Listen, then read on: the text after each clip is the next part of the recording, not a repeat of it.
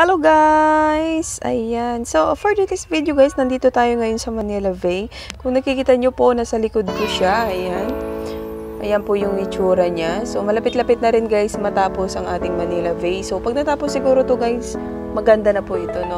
So, ito. Ayan, medyo mahangin lang dito guys, no? Pero okay lang.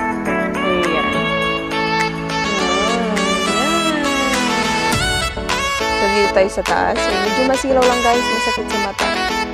Ayan po. Ayan ang ating Manila Bay.